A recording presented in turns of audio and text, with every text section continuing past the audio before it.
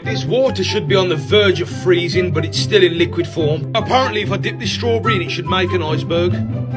Oh my god, it's worked! Look!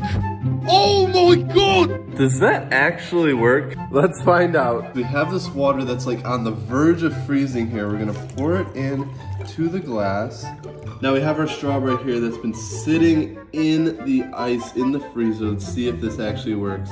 It's going in. Crystal? It like has a small layer of ice around it. So it kinda worked.